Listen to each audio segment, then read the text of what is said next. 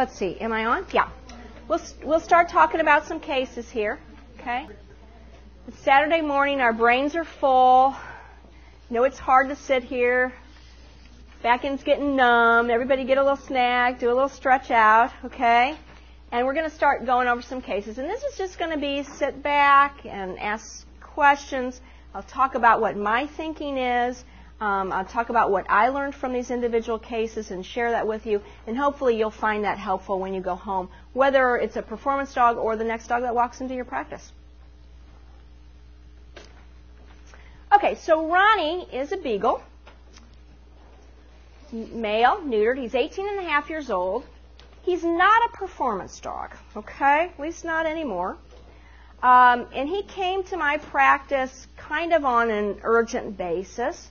He has hind limb weakness, and it was exacerbated seven days ago. He got caught under the owner's office chair. She has a home office, and he was stuck there all night, and he was splay legged. Um, and so the problem now is that he can't walk. He has startle seizures. He has a bad seizure problem. They have them controlled, but now if you touch him or if he's in direct sunlight, he will have seizures. And so he wears these little doggles when she gets him out of the car and brings him in so that he doesn't have the direct light. I had to take him into the exam room. We had to turn off the fluorescent lights. Those will also cause seizures. I have an exam room with a window. We could have some indirect light. I'm trying to do my exam there. Okay. Um, he has been diagnosed with canine cognitive dysfunction. He has a history of cervical disc disease. He has congestive heart failure. He has enteritis. He's controlled with daily doses of metronidazole. He's had several episodes of benign idiopathic vestibular disease. He's hypothyroid. His diet consists solely of McDonald's double cheeseburgers, 99 cents a piece. She says, I just love it when I drive through and tell, tell them the drive through, I need 20, you know, and they're like, did we hear you right?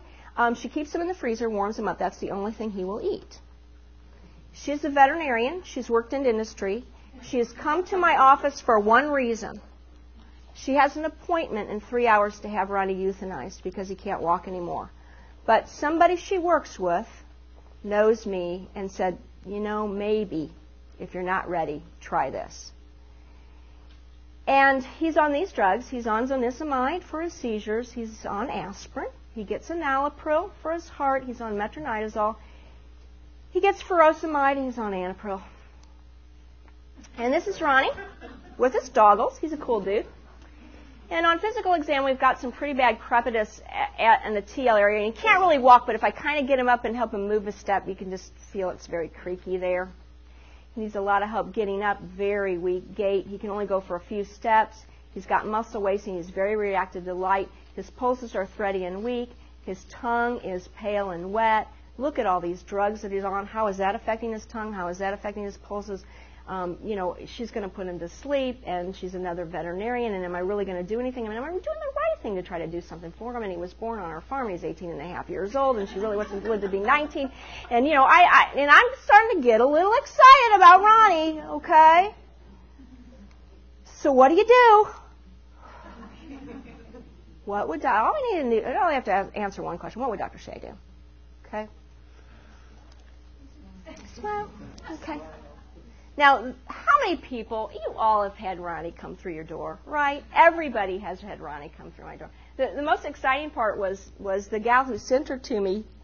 Next time I saw her, she came in and she goes, you know, she, first thing she said when, when she came back to work, and, and we did help the dog, and I'll tell you how, how later. We'll just kind of save that for the end, but that's not really not our purpose here, was she came in, she, she said, she has a stethoscope and an ophthalmoscope and they're wearing candles. Like she was so afraid of like somebody going to somebody who does acupuncture, they won't do any Western medicine. It's just going to be this voodoo, and there'll just be candles lit all over. And it's like I won her over because I did a physical exam on her dog, and I didn't have any candles burning. I, I still kind of think maybe I should get some candles. But you know, I can do a one Ronnie a day. That's okay. But I cannot see ten Ronnies a day. They're complicated cases, and oftentimes that, that's what we get. Okay? My passion is I want to see the young dog who hasn't gotten to the Ronnie stage yet. I want to be able to intercede before we have seizures, before we're so spleen deficient, before we have the horrible neck pain. I want to be able to intercede there. And it's hard to get a client who's got a busy life and four kids and the dog runs around the backyard to bring their dog in for kind of that wellness exam. Let's see if there are any issues here. But your performance people want their dog in top shape. If you can find, identify, and fix those subtle problems, they will continue to bring the dog back on a, a, basis regular enough that you can foresee and prevent these kind of problems from happening. They will continue to age, but they will age much more gracefully. So let's start with our first performance dog case here. And Max is a standard poodle. He is four years old and he is doing agility. He was doing agility and he fell off the dog walk. Running down the dog walk, he fell. He fell onto his left shoulder. He fractured his left uh, front toe. He's been treated with Deramaxx. He's had some chiropractic. He's had some acupuncture once a week for a while. It's three months later. His foot's healed on x-ray. He can't compete. He keeps popping out of the weave poles. He keeps dropping bars. So the weave poles, remember that border collie that was just weaving through? He can start, but he but he pops out of them. Okay? And he's dropping bars. So, so he's not able to clear the jumps all the way always. He tends to bring some of them down. And so she's brought him to me because he's, he's only four years old. I mean, he's a healthy dog. They can't find any more problem. He's healed up. It's not getting fixed, either with acupuncture and with chiropractic.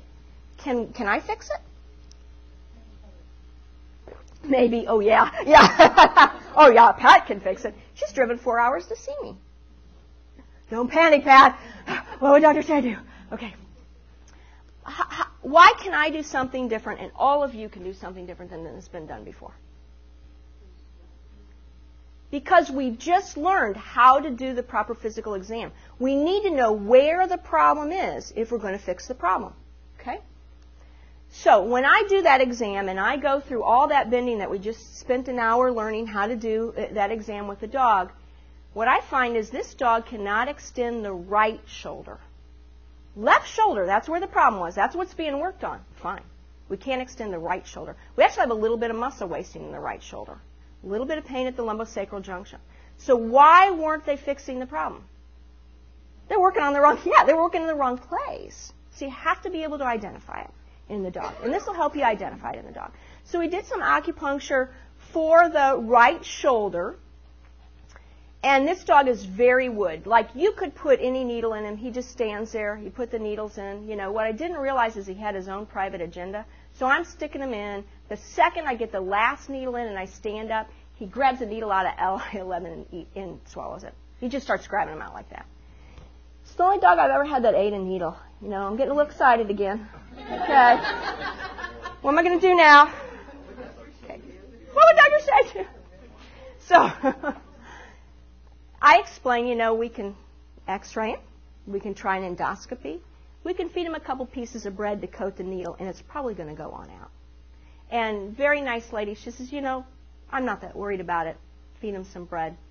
Went on through, no problem. Okay, the bread kind of coats it, and went on through.